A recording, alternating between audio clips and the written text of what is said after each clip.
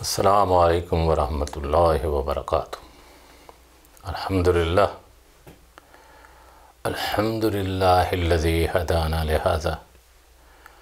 وما كنا لنهتدي لولا ان هدانا اللہ۔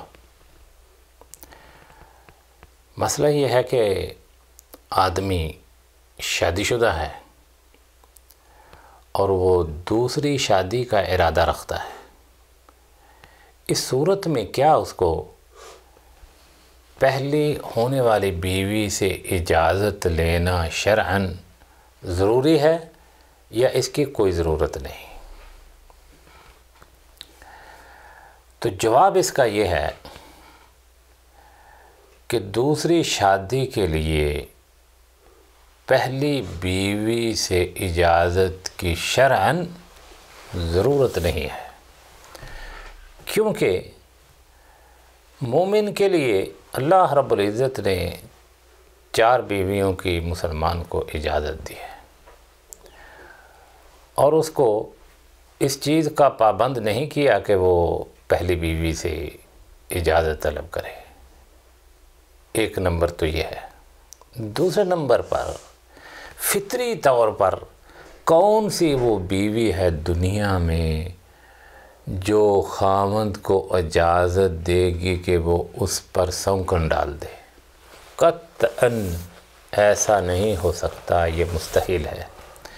صرف دنیا میں ایک پاکستان کے صدر ایوب خان ہوئے، انہوں نے یہ اسمبلی سے قانون پاس کرایا کہ خامند اگر شادی شدہ ہے، آدمی تو اس کے لیے ضروری ہے کہ وہ پہلی بیوی سے اجازت لے۔ اگر وہ اجازت نہیں دیتی تو اس کو قانون کے مطابق خامد کو جیل میں ڈال دیا جائے۔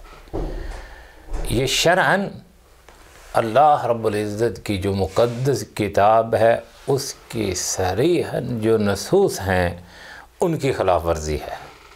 یعنی اس نے اللہ کے ساتھ اور اس کی کتاب کے ساتھ جنگ شروع کر دی۔ شرعن اس کی کوئی اجازت نہیں کہ خامن دوسری شادی کے لیے پہلی بیوی سے اجازت طلب کرتا رہے۔ ہاں البتہ یہ بات ہے کہ آدمی جب دوسری شادی کرتا ہے تو پہلی بیوی کو بہت ہی زیادہ تکلیف ہوتی ہے۔ کہ یعنی آدمی پورا پہلے اس کا تھا، اب آدھا رہ گیا ففٹی ففٹی ہو گیا کام۔ تو تکلیف ہوگی اس کی تکلیف کو دور کرنے کے لیے۔ آدمی کو چاہیے کہ خندہ پیشانی سے اس سے پیش آئے۔ اس کے جو حقوق ہیں، واجبات ہیں، ان کو ادا کرے۔ اور مالی طور پر بھی اگر گنجائش ہو تو اس کی مدد کرے حتیٰ کہ وہ راضی ہو جائے۔ یا راضی نہ بھی ہو، راضی تو کبھی نہیں ہوگی، لیکن اس کے غم، آلام، قلق، اضطراب میں تھوڑی سی کمی واقع ہو جائے، حتیٰ کہ وہ نارمل زندگی بسر کرنا شروع کر دے۔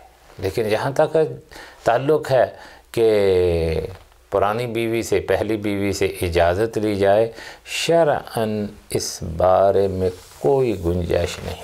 انسان آزاد ہے، اگر وہ جانتا ہے کہ وہ دوسری بیوی کر کے اس پر عدل کرے گا، تو اس کو دوسری شادی میں کوئی رکاوٹ نہیں۔